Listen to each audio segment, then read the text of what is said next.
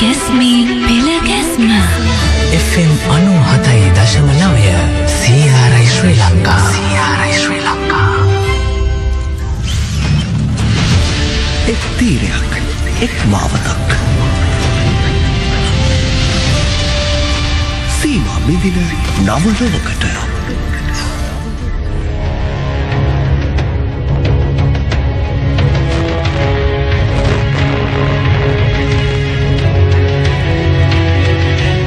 අයිබෝන් සුබ සන්ධ්‍යාවක්. එක් තීරයක් එක් මාවතක්. මහජන චීනය මූලික කර ගනිමින් ලෝපුරා ව්‍යාප්තව ක්‍රියාත්මක වන මේ මහා දැවැන්ත ව්‍යාපෘතියට අදාළව අපි ඔබට බොහෝ කරුණු කාරණා ගෙනාවා. අද දවසේදීත් ප්‍රධාන සම්පත්දායකත්වයේ මේ වැඩසටහනට ලබා දෙන කුවාලාලම්පූර් සරසවියේ මහාචාර්ය සමිති හෙට්ටිගේ සූදානමින් ඔබ වෙනුවෙන් තවත් සුවිශේෂී වූ රටක් ලෝකයක් දියුණු වීමට අවශ්‍ය කරන කරුණු කාරණා රැසක් පිළිබඳව ඔබට පවසන්නට. මේ කුවාලාලම්පූර් සරසවියේ මහාචාර්ය සමිත හෙට්ටිගේ ප්‍රංශ ජනාධිපති එමැනුවල් මැක්‍රෝන් මේ මොහොතේ ඉන්නේ චීනේ. ඔහු පසුගිය දවස් 3ම හිටියේ චීනේ.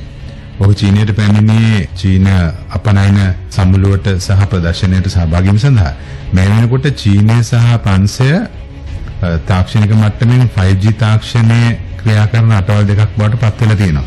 එයිනුත් ප්‍රංශය පළවෙනි කාර්මික විප්ලවයට මුහුණ දුන්නේ හමුදා නිලධාරියෙක් වෙච්ච නැපෝලියන් විසින් දමන ලද පදනමි. ඒ කියන්නේ 1789 පංච විප්ලවයට පසුව දසවසරක් ව්‍යාකූල තත්ත්වයක් තිබිලා 1799 නැපෝලියන් බලයට පත් වෙලා තමයි පංචය පළවෙනි කාර්මික විප්ලවයට ඔසවා තැබුවේ. ඊට පස්සේ පංචය දෙවෙනි කාර්මික විප්ලවයට සූදානම් කරෙත් පංච හමුදාවේ හිටපු නිලධාරියෙක් වන ජෙනරාල් ඩිගෝල්. ඉතින් සේදමාවත සම්බන්ධයෙන් ඒ කාරණා කියනකොට ලංකාවත් දැන් සේදමාවතට සම්බන්ධ වෙලා ඉදිරියට යා යුතු අවස්ථාවක ඉන්නේ. එහෙම අවස්ථාවක ලංකාවටත් එවැනි දාර්ශනික මට්ටමේ සහයෝගයක් දීපු, තල්ලුවක් දීපු උපකාර කරපු කෙනෙක් තමයි 1832 අගෝස්තු මාසයේ උපන්න හෙන්රි ස්ටීල් ඕල්කට් මැතිතුමා. එතුමා ඇමරිකානු හමුදාවේ සේවය කරපු පුද්ගලෙක්. ඔහු වරක් මෙන්න මෙහෙම කියලා තියෙනවා. මම උප්පත්තියෙන් ඇමරිකන් ජාතිකයෙක්මි. අප පවුලේ අය 1633 සිට මෙහි පදිංචිව සිට ඇත. ඔවුන් 1776 දී හා 1812 දීත් බ්‍රිතාන්‍යයට විරුද්ධව දෙවරක් සටන් වැදී ඇත. ඉතින් මේ ආරෙන් ආපු ගතිය හින්දා වෙන්න ඇති හෙන්රි ස්ටීල් ඕල්කට් තුමත් හමුදාවට සම්බන්ධ වෙලා බොහෝ කාලයක් සේවය කළා. පසු ඔහු පටන් ගත්ත පරම විඥානාත්ම සමාගම කියන එක. එහි මූලික අරමුණු ජාති කුල ආදම් ભેද වලින් තොරව මුළු මිනිස් ප්‍රජාවම එක්සේසත් කිරීම ඒ වගේම සෑම ආගමක්ම සෑම ධර්මයක්ම අපක්ෂපාතීව ප්‍රගුණ කරන්නට ධෛර්යය දීම සහ සබහා ධර්මය හා මනුෂ්‍යයාගේ අභ්‍යන්තරික බලය පිළිබඳව කරුණු ගවේෂණය කිරීම. ඔල්කොත්තුමා ලංකාවට පැමිණියේ වර්ෂ 1880 මැයි මාසේ. එහෙම ඇවිල්ලා විශාල සේවයක් ලංකාවට කරා. අයින් මගේ අවධානය යොමු වෙච්ච ප්‍රධානම කාරණයක් තමයි මේ සෙන්පති ඔල්කොත්තුමා වෙත පන්සිල් දීමේ බලය අපේ නායක ස්වාමීන් වහන්සේ සත් නමක් විසින් අත්සන් කොට බලපත්‍රයක් මගින් ලබා දීලා තියෙනවා 1884 දී. ඒ කියන්නේ කෙනෙක් පංචශීලයේ පිළිපැදීමට ඔල්කොත්තුමාට අපේ මහා සංඝරත්නය විසින් බලය දීලා තියෙනවා. ඒ වගේම බෞද්ධ දජය නිර්මාණය කිරීම 1885 දී සහ කොළඹ ආනන්ද මහාවිද්‍යාලය ආරම්භ කිරීම 1886 නොවැම්බර් මාසේ පළවෙනිදා. ඉතින් ආනන්ද මහාවිද්‍යාලයේ සංවත්සරය වෙනුවෙන් මේ වැඩසටහන කරන්න හිතුවේ මොකද ලංකාවේ සෙදමාවතේ ගමනේදී ආනන්ද විද්‍යාලයේ අධිශිෂ්‍යයන් බොහෝ දායකත්වයක් දීලත් තියෙනවා දැනටත් දෙනවා අනාගතෙත් දෙයි කියලා අපි බලාපොරොත්තු වෙනවා. ඉතින් ඒ සඳහා ආනන්ද විද්‍යාලය බිහි කිරීමත් පසු කාලීනව ශ්‍රී ලංකා හමුදාවේ කීර්තිමත් නිලධාරියෙක් වෙච්ච කර්නල් ජී.ඩබ්ලිව් රාජපක්ෂ මහත්මයා වගේ නිලධාරීන් යටතේ ආනන්ද විද්‍යාලය ලංකාවට සිසුන් වටිනා සිසුන් දායක කිරීමත් සිද්ධ කරා.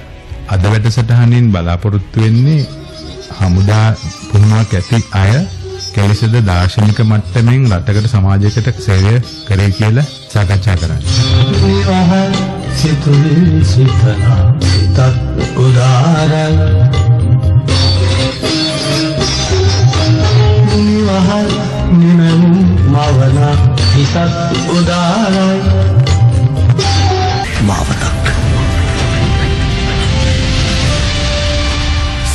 මාවතක් විදින නවලෝකට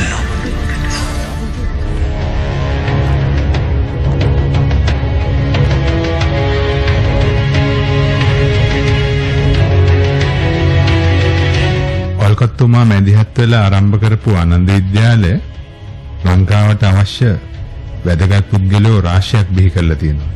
අ, වෘත්තිකයෝ, විද්‍යාඥයෝ, වෛද්‍යවරු, දේශපාලඥයෝ, යුද සෙනෙවියෝ යනාදී වශයෙන්.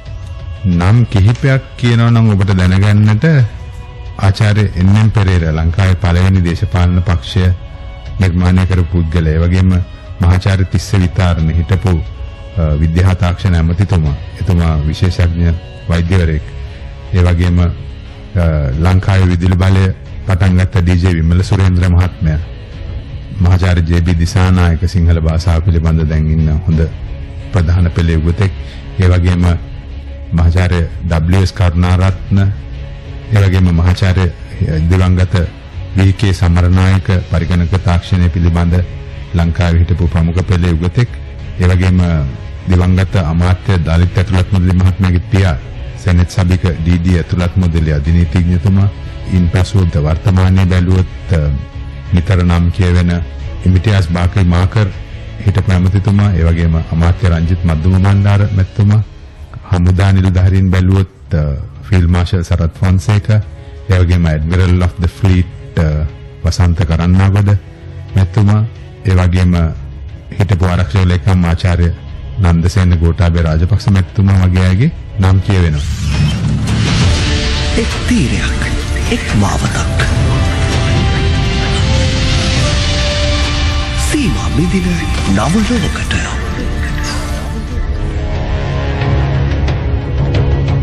ජේ.ඩබ්ලිව් රාජපක්ෂ විදුහල්පතිතුමාගේ කාලේ බිහිවෙච්ච තව ශිෂ්‍යයෙක් ඉන්න ඔහුත් ආනන්දයට විශේෂයි මොකද ආනන්ද විද්‍යාල ඉතිහාසයේ පළවෙනි ශිෂ්‍ය ගුරුවරයා එහෙම නැත්නම් ටීචින් ප්‍රිෆෙක්ට් ලෙස රාජපක්ෂ විදුහල්පතිතුමාම පත් කරපු මහාචාර්ය ලලිත් ඉදිරිසිංහ. මහාචාර්යතුමනි ඔබේ අත්දැකීම් මොනවද රාජපක්ෂ මහත්මයාත් එක්ක ශිෂ්‍යයෙක් හැටියට? අයිබෝවන්. සාමාන්‍ය මේ මේ මාතෘකාව එනම් කර්නල් ජී.ඩබ්ලිව් රාජපක්ෂ සර් ගැන කතා කරනකොට ඒ හැම අවස්ථාවකදීම මගේ ඇස්වලට කඳුළු යනවා. ඒ තරමටම ඔහු මගේ ජීවිතේ කඩයින් වලට මූලිකත්වය ගන්නවා. ඔහු ගැන පැය ගාණක් කතා කරන්නට දේ තිබුණත් කාල වේලාව අනුව මගේ ජීවිතේ විවිධ කඩයින් වලදී ඔහුගේ නායකත්වයේ කොයිතරම් බලපෑවද යන්න ප්‍රධාන කරුණු හතරක් යටතේ මා කතා කරන්න. මේ කරුණු හතර අනාගත පරපුරට සේවයක් කළ හැකි පුද්ගලයෙක් ලෙස මගේ ජීවිතය විකාශනය කරගන්නට මට බොහෝ උපකාරී වුණා. පළමුවැන්න එතුමා මගේ පළමු ලොජිස්ටික්ස් ගුරුවරයා. දෙවැන්න යම්කිසි කාර්යයක් ආරම්භ කළ පසු බාධා නොසලකා ඉදිරියට යාම අවවාදයෙන් නොව ආදර්ශයෙන් කියා දීම. තුන්වැන්න ශිෂ්‍යෙක් පුහුණු කිරීමේදී එතුමාට තිබුණු සියුම් උපාය ඥානය. හතරවැන්න මා කතිකාචාර්යවරයෙක් ලෙස මගේ රැකියාව තෝරා ගැනීමට එතුමා සාධක වූ ආකාරය.